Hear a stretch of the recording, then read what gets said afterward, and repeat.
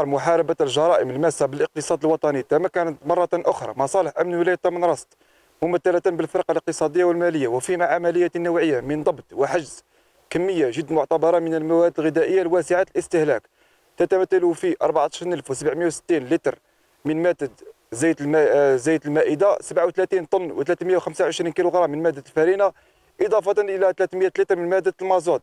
مع حجز أربع مركبات كانت تستعمل كوسائل نقل توقيف عشرة أشخاص يشتبه تورطهم في القضية.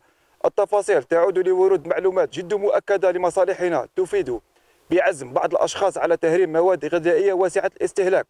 تخضع لرخص التنقل الجمركي من الطراب الوطني تجاه الدول المجاورة.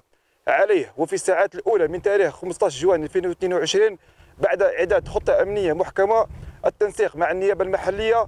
تم توقيف المشتبه فيهم في حال التلبس